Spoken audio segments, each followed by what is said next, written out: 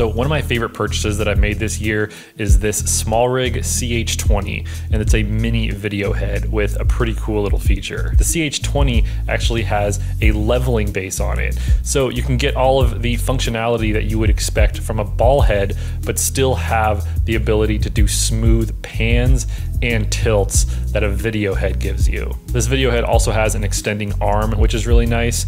And because it's so small, it just allows me to keep my entire setup really nice and compact. Paired with my SmallRig carbon fiber tripod legs, this is a perfect setup for anyone who wants the portability of a travel tripod, but all the functionality of a video tripod.